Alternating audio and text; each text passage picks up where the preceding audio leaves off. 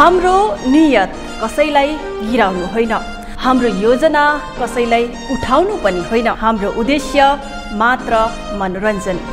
the विनाश so every Thursday nine